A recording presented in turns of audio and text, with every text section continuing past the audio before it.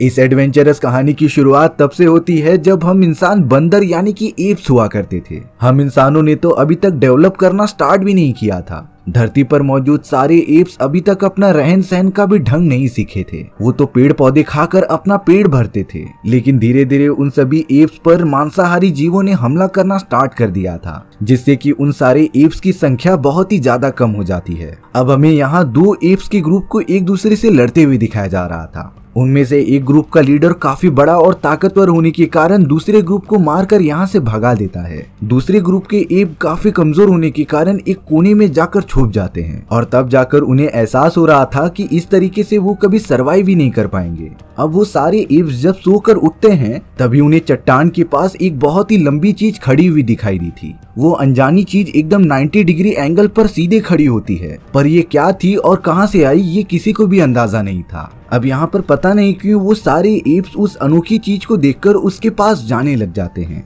देखने पर ऐसा लग रहा था कि वो सारे एप्स उस अनोखी चीज़ का पूजा कर रहे हैं। तभी अचानक एक दूसरा एप कुछ सोचने लग जाता है। इस बड़ी और लंबी काली चीज़ को कहानी के अंदर मोनोलिथ नाम दिया गया है। अब उस मोनोलिथ के इफ़ेक्ट की वजह से वो सारे एप्स को सोचने लग जाते हैं। उनमें से एक एप को पता चला कि भूख कितनी ज़्यादा इम्पोर्टेंट है और उनकी सभी टोली को ज़िंदा रहने के लिए कुछ तो करना ही पड़ेगा। इसीलिए उसे अपने मरी हुई एक जानवर की हड्डी उठा ली और हड्डी को एक हथियार की तरह यूज़ करने लगा। ये पहला स्टेप होता है जहाँ से एप अपने दिमाग को डेवलप करना स्टार्ट कर दे रहे थे। जैसे लग रहा था कि उस मोनोलिथ स्ट्रक्चर ने ही इन सभी को एबिलिटी दी है सोचने की। अब उन्हीं सारी हड्डियों को अपना हथियार बनाकर वो सारे एप्स जानवरों का शिकार करने लगे थे। जानवरों के मांस खाकर एप्स को काफ़ी शक्ति मिल रही थी। यानी कि अब वो सारे एप्स पूरी तरीके से मांसाहारी बन चुके थे। उन्हें तब से अपने खाने पीने की टेंशन लेने की कोई ज़रूरत ही नहीं थी। अब उन एप्स का ग्रुप हड्डियों को हथियार बनाकर उस दूसरे ग्रुप के पास आ गया था। वो एप्स तो देखते ही देखते हड्डियों की मदद से दूसरे ग्रुप के लीडर को मार मार कर खत्म कर देते हैं। यानी कि अब इस नए ग्रुप पर भी उनका ही राज होगा।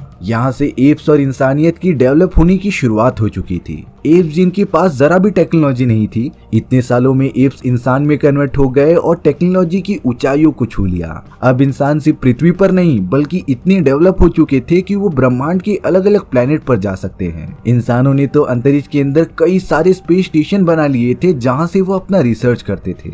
इस बात से हम अंदाज़ा लगा सकते हैं कि कितने कम समय में टेक्नोलॉजी कितनी आगे बढ़ चुकी थी। अब हमें यहाँ पर फ्लोइट नाम की एक वैज्ञानिक और एस्ट्रोनॉट को दिखाया जाता है। फ्लोइट अमेरिकी स्पेस एजेंसी के लिए काम किया करता था और अब उसे एक मिशन के लिए तुरंत मून पर जाना था। लेकिन उसकी फ़्लाइट थोड़ी सी लेट होने के कारण वो वहीं पर रुककर कुछ रशियन से बात करने लग जाता है। उन रशियंस में से एक आदमी फ्लॉइड से पूछ रहा था कि मैंने एक अफवाह सुनी है कि मून पर जो अमेरिकी बेस है, वहाँ पर एक वायरस फैल चुका है, जो लगातार अंदर जाने वाले एस्ट्रोनॉट्स को मारते जा रहा है। लेकिन फ्लूइड इस बारे में कुछ भी कहना नहीं चाहता था, क्योंकि ये सारी चीज़ें बहुत ही ज़्यादा कॉन्फिडेंशियल थी और ना ही किसी को बताए जाने वाली थी। इसलिए फ्लोइड इस बारे में कुछ भी जवाब ही नहीं देता। अब फ्लोइड अपने साथियों के साथ कुछ ही घंटों में मून पर मौजूद उस बेस पर पहुँच जाता है, जहाँ अमेरिकी वैज्ञानिकों के बीच एक मीटिंग के दौरान फ्लॉइड की बातों से ये पता चला कि अमेरिकी सैनिकों को मून पर एक अजीब तरीके की आकृति मिली है और अनुमान लगाया जा रहा है कि ये आकृति पिछले कई सौ सालों से मून पर मौजूद है। अब दूसरी कोई कंट्री का एस्ट्रोनॉट यहाँ पर आकर छानबीन ना करे, इसीलिए अमेरिकी मून बेस पर वायरस फैलने की गलत न्यूज़ फैलाई गई थी। और अब यहाँ फ्लॉइड अपने एस्ट्रोनॉट साथियों के साथ उस स्ट्रक्चर को देखने के लिए आ जाता है। ताजुब की बात यह थी कि ये स्ट्रक्चर और कोई नहीं, बल्कि वही मोनोलिथ होता है, जो कई हज़ार साल पहले पृथ्वी पर आया था। फ्लॉइड और उसके साथी उस मोनोलिथ के स्ट्रक्चर को चेक करते रहते हैं और उसे टच करके देखते हैं। उन्हें भी लगभग कुछ नहीं समझ रहा था कि आखिर ये स्ट्रक्चर है क्या। पर जैसे ही यहाँ पर थोड़ी सी सूर्य की किरणें मोनोलिथ पर पड़ी, तभी अचानक उसके अंदर से वाइब्रेशंस निकलना स्टार्ट हो जाती हैं। ये वाइब्रेशंस तो ब्रह्मांड की किसी दूसरे प्लेनेट की तरफ़ ट्रेवल कर रही थी। पर आखिरकार ये रेडिएशंस थी क्या और कहा जा रही थी, इसका अंदाज़ा अमेरिकी सैनिकों को नहीं होता। इसीलिए फ्लोइड ने अपने टीम के साथ डिसाइड किया कि वो इस वाइब्रेशंस और इस पूरे स्ट्रक्चर को चेक करेगा। सारी अमेरिकी एजेंसी इस बात का पता लगाने के लिए जोरों शोरों से लग गई थी, क्योंकि अगर ये चीज़ें किसी और कंट्री ने पता कर ली, तब उनका नाम इतिहास में सेकेंड रैंक पर आ जाएगा। अब कई सालों की मेहनत के बाद इस मिशन को वापस से शुरू किया गया था। मोनोलिथ से पहली बार जो रेडिएशन निकली थी, वो जुपिटर प्लैनेट की तरफ़ जाते रहती है। इसीलिए इंसानों ने एक और एडवांस स्पेसशिप बनाई जो कि जुपिटर तक अपना सफ़र तय करेगा। स्पेसशिप का नाम भी जुपिटर फाइंडिंग रखा गया। अब हमें उसी स्पेसशिप में सवार फ्रैंक और डेव नाम के दो एस्ट्रोनॉट को दिखाया जाता है। बाकी एस्ट्रोनॉट स्पेसशिप के स्लीपिंग चेम्बर में मौजूद थे, क्योंकि जुपिटर तक पहुँचने के लिए काफ़ी ज़्यादा समय लगने वाला था, और अगर वो स्लीपिंग चेम्बर में हाइबरनेशन मोड पर रहेंगे, तब खाने पीने की चीज़ें काफ़ी कम यूज़ होंगी। यानी कि स्पेसशिप के अंदर सिर्फ़ और सिर्फ़ डेव और फ्रैंक ही मौजूद थे, जो पूरे सिस्टम का ख्याल रख रहे होते हैं। उन दोनों के साथ सिर्फ़ हेल नाम का एक बहुत ही एडवांस एआई मौजूद होता है, जिसे कि इंसानों के सोच विचार शक्ति की यूज़ करके ही बनाया गया था। हेल जो कि एक एडवांस एआई था, वो बैकग्राउंड में स्पेसशिप की सारी टेक्नोलॉजीज़ को हैंडल करता था। अब यहाँ डेव और फ्रैंक अपने हायर सिक्योरिटी ऑफिसर से बात करते रहते हैं कि हम इस एआई पर कितना भरोसा कर सकते हैं, क्योंकि ये एआई इंसानों जैसा तो नहीं सोच सकता था। साथ ही साथ इस एआई को कंडीशन समझने की कोई भी फीलिंग्स नहीं थी। एआई को तो सिर्फ़ जो कमांड दिया जाएगा, वो उसे ही फॉलो करेगा। लेकिन हायर ऑफिसर्स डेव और फ्रैंक को कहते हैं कि तुम दोनों इस एआई पर आँख बंद करके भरोसा कर सकते हो, क्योंकि इस एआई का दिमाग एक बच्चे जैसा है जो धीरे धीरे सारी चीज़ें सीख जाएगा। अब डेव और फ्रैंक इसी तरीके से जुपिटर की तरफ़ अपना सफ़र तय करते रहते हैं। और अब तो वो जुपिटर प्लैनेट के काफ़ी ज़्यादा पास पहुँच गए थे। लेकिन स्पेसशिप के अंदर मौजूद एआई जिसका नाम हेल था, वो काफ़ी अजीब तरीके से बिहेव करने लग जाता है। एक दिन हेल ने डेव और फ्रैंक को बताया कि स्पेसशिप के बाहर वाली एक यूनिट खराब हो चुकी है और अगर जल्द से जल्द उसे ठीक नहीं किया गया, तब एयर प्रेशर कम होता जाएगा। डेव और फ्रैंक अब मजबूरी में स्पेस सूट पहनकर वो यूनिट ठीक करने के लिए चले जाते हैं, पर उन्हें ये पता चला कि यहाँ पर तो कोई भी खराबी नहीं है। इसीलिए स्पेसशिप में वापस आने के बाद डेव और फ्रैंक हेल पर गुस्सा हो रहे थे, क्योंकि उसने उन्हें गलत इन्फॉर्मेशन दी। लेकिन यहाँ पहली बार हेल उन दोनों पर काफ़ी गुस्से से बात कर रहा था। गलती तो सिर्फ़ इंसानों से होती है रोबोट से नहीं।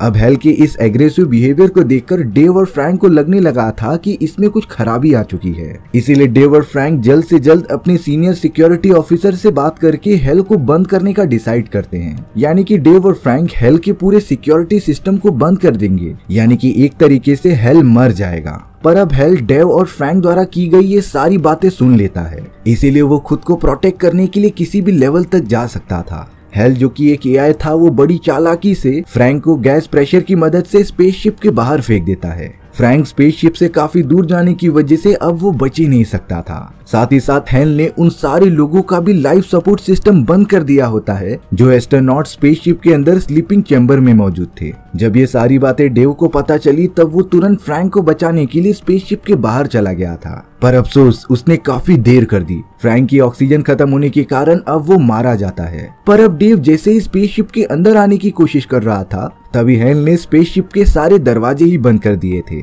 यानी कि अब डेव भी पूरी तरीके से फंस चुका है। पर डेव इस तरीके से हार नहीं मान सकता था। वो तुरंत ही स्पेसशिप के इमरजेंसी एग्जिट के पास आ जाता है ताकि अंदर घुस सके। अब उस जगह पर हेल का कोई भी कंट्रोल नहीं था। इसीलिए देव बड़ी आसानी से अंदर घुसने में कामयाब हो गया था। देव तुरंत कंट्रोल सिस्टम में आकर हेल के सारे एक्सेस और स्टोर किए गए सारे डेटाज डिलीट करने लग जाता है, जिससे कि हेल भी थोड़ी ही देर में पूरी तरीके से खत्म हो जाएगा। हेल तो एक एआई होकर डेव से मदद मांग रहा था कि वो उसे छोड़ दे, लेकिन डेव को पता था कि अगर वो हेल को ज़िंदा रखेगा, तब वो इसी तरीके से सारे एस्ट्रोनॉट्स को मार देगा। इसीलिए डेव बिना देरी किए वो सारे डेटा क्लियर कर देता है और हेल को मार देता है। अब डेव को यहाँ पर अपनी सीनियर ऑफिसर फ्लॉइड का रिकॉर्डेड मैसेज मिल रहा था, जिसमें की वो मोनोलिथ स्ट्रक्चर के बारे में बता रहे थे। दरअसल ये मोनोलिथ स्ट्रक्चर कहाँ से आया था, ये किसी को पता नहीं था, लेकिन ये बात कंफर्म थी कि इसके आसपास रहने पर इंसानी प्रजाति और कोई भी चीज़ डेवलप होने लग जाती है। यानी कि एक तरीके से मोनोलिथ स्ट्रक्चर हमारी इंसानी सभ्यता के लिए काफ़ी मददगार साबित हो सकता था। इसीलिए उनकी ऑर्गेनाइजेशन जल्द से जल्द ब्रह्मांड में फैले हुए सारे मोनोलिथ स्ट्रक्चर को जमा करने के लिए ये मिशन कर रही थी।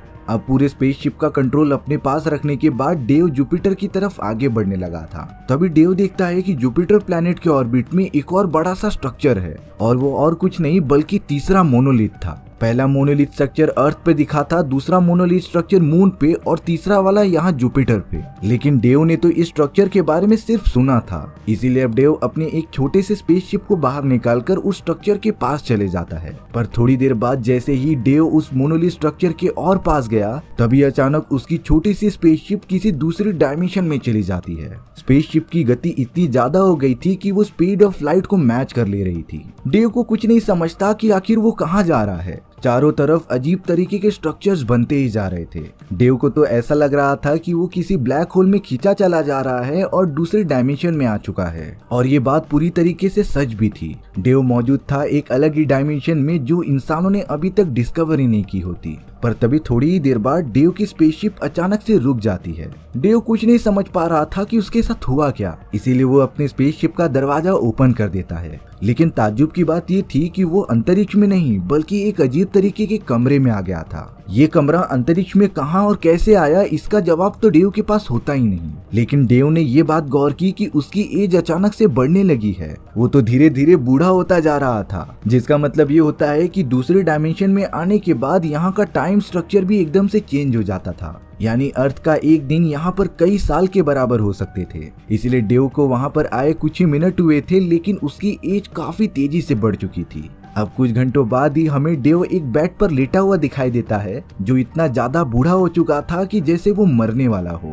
अब हम डेव के ठीक सामने वही चौथा मोनोलिथ का स्ट्रक्चर देखते हैं। डेव पहली बार उस स्ट्रक्चर को छू कर देखना चाहता था कि आखिर होता क्या है। लेकिन अब डेव के अंदर इतनी ज़्यादा हिम्मत नहीं होती कि वो खड़ा हो सके। पर अब अचानक वो बड़ा सा काला स्ट्रक्चर खुद ही डेव के पास आने लगा था। वो स्ट्रक्चर जैसे ही डेव की बॉडी से टच होता है, तभी अचानक डेव की बॉडी एक रोशनदार गोले में कन्वर्ट हो गई थी, जिसके अंदर एक छोटा सा बच्चा दिखाई देता है। ये और कोई नहीं, बल्कि डेव का पुनर्जन्म था, जिसकी लाइफ खत्म हो चुकी होती है और एक नए सिरे से शुरू होती है। डेव उसी सर्कल के अंदर मौजूद होता है, पर वो अपनी आँखों से पृथ्वी को देख सकता था। यानी कि डेव अब वापस पृथ्वी पर चले जाएगा, जो अभी के इंसानों से इतना ज़्यादा इंटेलिजेंट होगा कि पूरी इंसानी सभ्यता बदल जाए। और शायद से ये मोनोलिथ स्ट्रक्चर इसी तरीके से काम किया करता था। अब तक जितने भी स्ट्रक्चर्स दिखाए गए हैं, वो शायद से इंसानी सभ्यता को डेवलप करने में मदद कर रहे थे। हो सकता है कि इन स्ट्रक्चर्स को किसी एडवांस सिविलाइजेशन ने भेजा होगा या फिर भगवान ने। पर समय के साथ साथ हम इंसानों की तरक्की इतनी ज़्यादा हो जाएगी कि हम सोच नहीं सकते।